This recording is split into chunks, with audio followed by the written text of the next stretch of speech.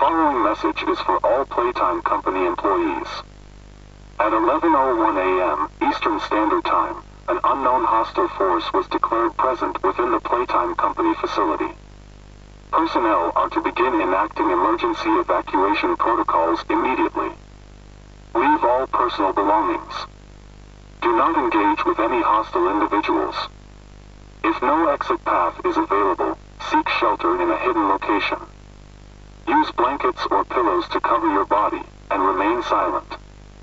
Do not look through any windows. Do not open doors for any individuals. Do not make eye contact.